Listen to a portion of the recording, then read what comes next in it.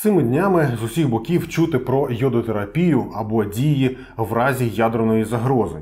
Ну а на світло тим часом вилізла ціла купа експертів, що радісно роздають поради сумнівної якості. В першу чергу треба пам'ятати, що паніка заважає людям мислити раціонально.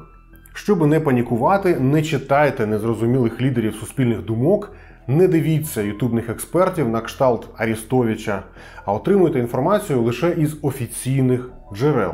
Читайте державні органи влади. Зокрема, підпишіться на Міністерство оборони, Міністерство охорони здоров'я і Державну службу із надзвичайних ситуацій. Тепер до справи.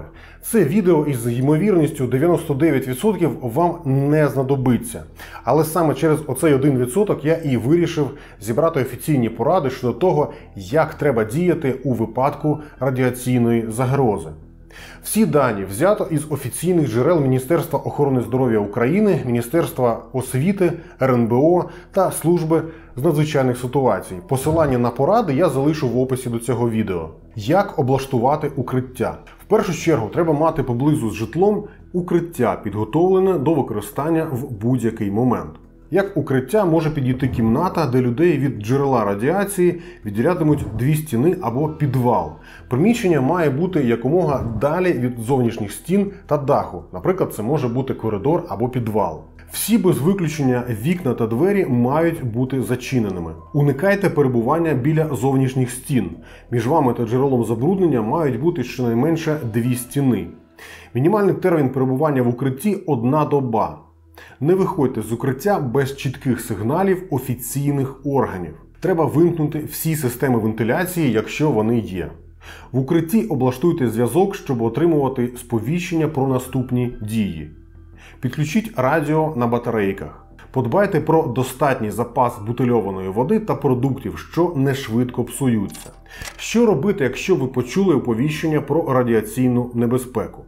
Продовжуйте слухати офіційні повідомлення. Терміново перейдіть до укриття. Загорніть продукти у герметичні пакети. Вдягніть маску або респіратор. Майте при собі одяг, який легко помити. Це може бути плащ або гумові чоботи. Що робити, якщо укриття немає на вікнах скла або двері зачиняються нещільно?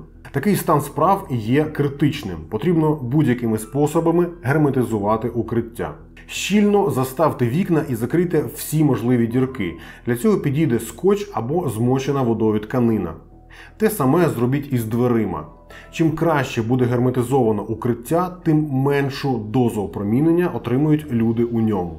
Передчасна евакуація може стати фатальною, адже перебуваючи на вулиці або в авто, людина може отримати значно більшу дозу опромінення порівняно з тим, що була би в укритті. Дії в разі опромінення. В першу чергу знезаразьте себе, обережно знявши верхній шар одягу. Герметично запакуйте цей одяг в один або краще в кілька пакетів та тримайте його якомога далі від людей та тварин. Якщо ви маєте можливість помитися, зробіть це. Прийміть душ із милом, помийте голову шампунем. Не використовуйте кондиціонер для волосся, бо вони можуть закріплювати радіоактивні матеріали у волоссі. В жодному разі не тріть та не дряпайте шкіру, щоб радіоактивні елементи не потрапили в рани. Якщо ви не можете прийняти душ, вимийте з милом руки, обличчя та відкриті частини тіла під проточною водою. Якщо немає доступу до води, використовуйте вологі серветки. Зверніть особливу увагу на руки та обличчя. Протріть серветками повіки, вії та вуха. За можливості зробіть всі ці дії в рукавичках, масці або респіраторі. Допоможіть оточуючим вас виконати всі ці дії так само. Щоб захистити тварин від опромінення, заберіть їх до укриття, попередньо забезпечивши необхідний запас корму та води.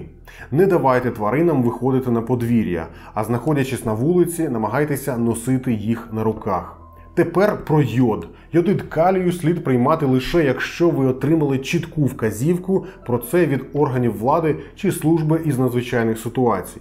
Приймати йодид калію для так званої профілактики без потреби недопустимо. Це може зашкодити здоров'ю. Важливо, щоб йодна профілактика здійснювалася одноразово після отримання вказівок.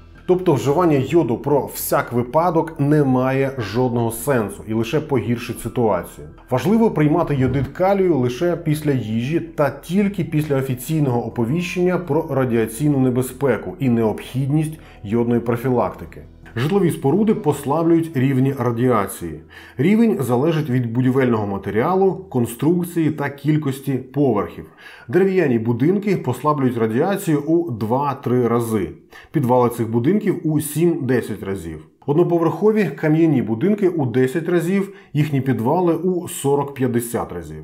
Багатоповерхові будинки у 400-500 разів, а їхні підвали у 1000. Це все.